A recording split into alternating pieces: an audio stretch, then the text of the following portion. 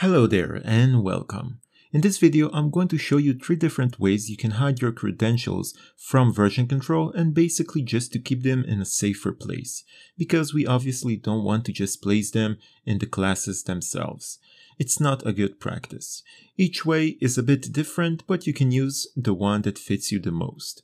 The first way is by storing the credentials inside a properties file and then add this property file to the gitignore. So we have a new project over here and we can go to the project view, expand our project, and now we're going to add a new file. Of course, we can save it inside the local properties, but we can also create a new file and name it keys properties.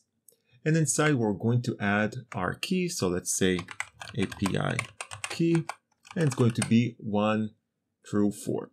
So this is our API key and it is located inside this file.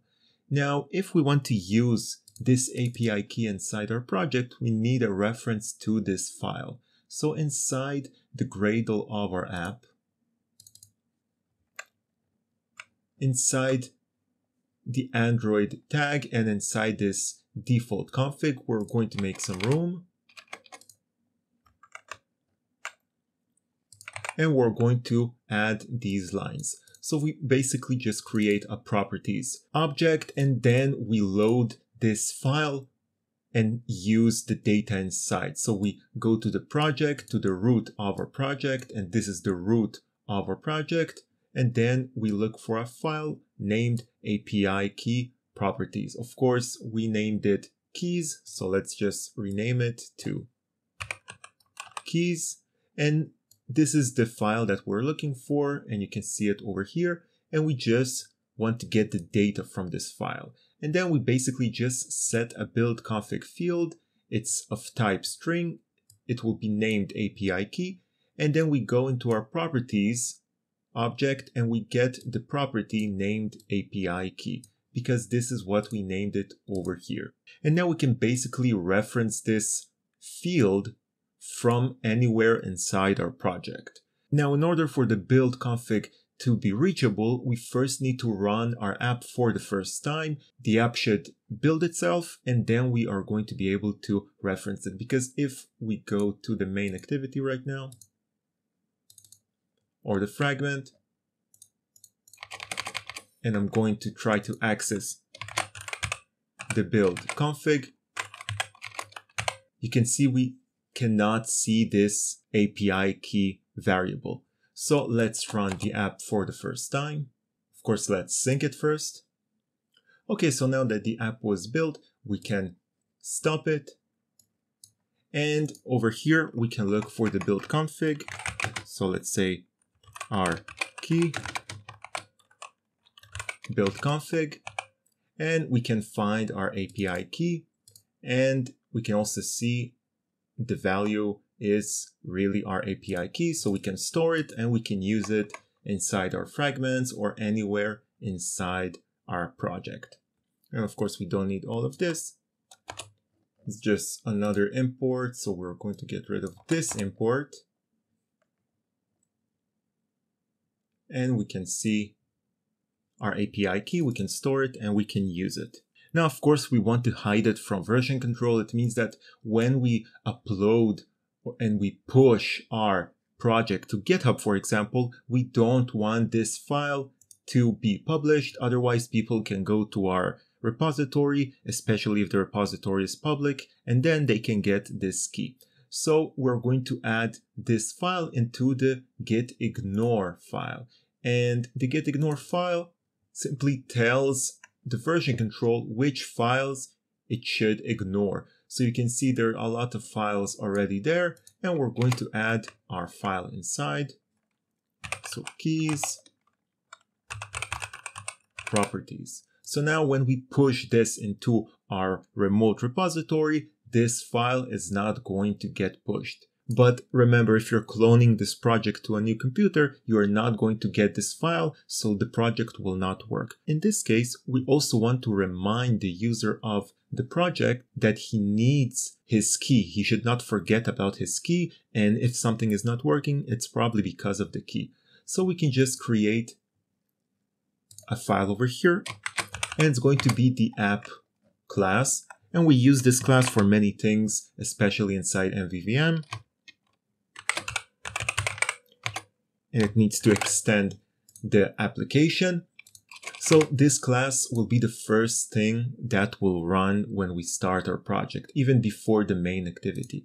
So inside, we can simply say val API key is our build config API key.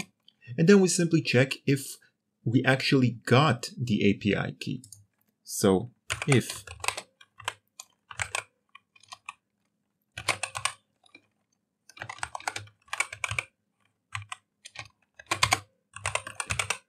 throw exception and we want to let the user know what is the exception missing API key GitHub is ignoring it. Okay, so maybe it's not GitHub, but just let the user know what is the problem and what's going on over here. Of course, we need to place this inside the onCreate. We can just use these things inside the class itself. And it tells us that it's always false, right? Because we always get the API key. But if we actually clone this project from GitHub, we are not going to have this API key. It's going to be null. So then we're going to receive null and we're going to get this exception. So we won't have to guess what is the problem. We are going to get notified that we're missing the API key, right? Because this file is not going to get downloaded when we clone this project from GitHub into our new PC.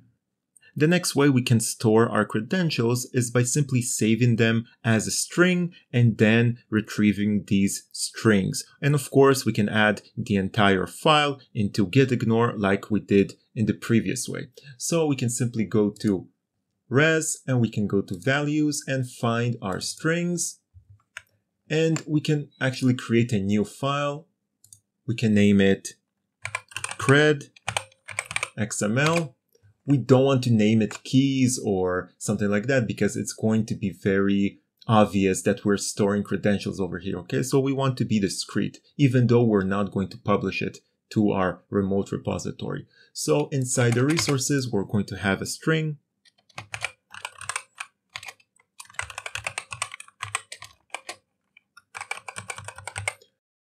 and then we're simply going to save the value and the name will be API key. So now inside our project, we can simply retrieve it. Require context because we're in a fragment, get string, and then our string because it's still a string and API key. So now we get the API key from the strings and we save it inside this variable.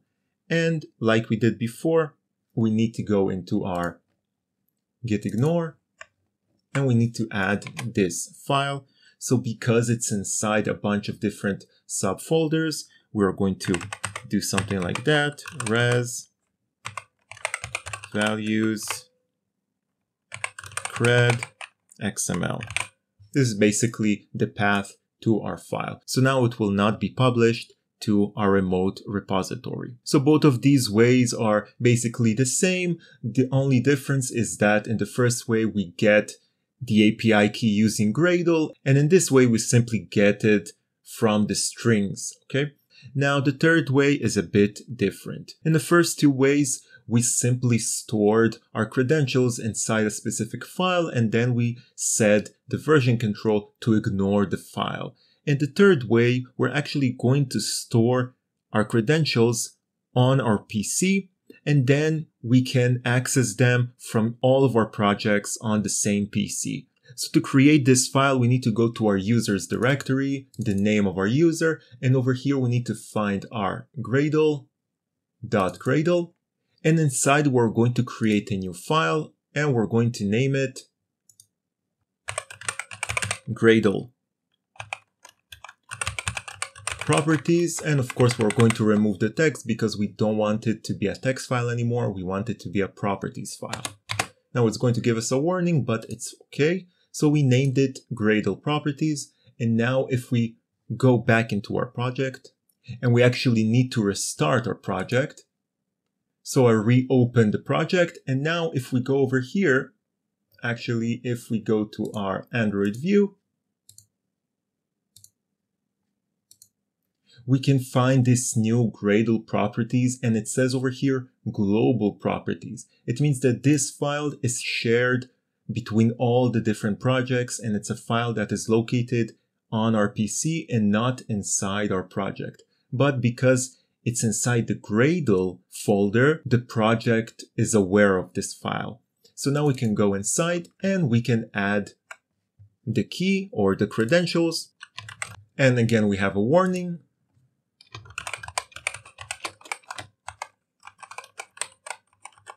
So in order to get a reference to this property, we go to Gradle again.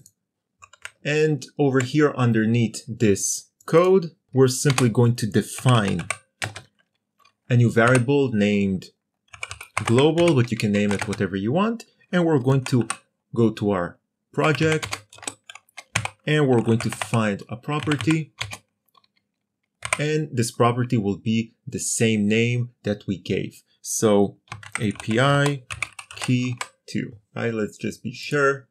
API key 2. Okay. And now we got this value and stored it inside this variable. And the same way we placed the API key from before inside a build config field, we're going to do the same. So build config field, string, and we're going to name it global key. And then we're going to simply place this variable. Okay, so we're going to store the value of this API key 2 inside this build config field. But in order for it to work, we also need to add these escape characters. So we convert it into a string, otherwise it will not work properly. So now we can go to our first fragment. And I think we also need to run the app. Let's just try to access it. Build config. And yeah, let's run the app again.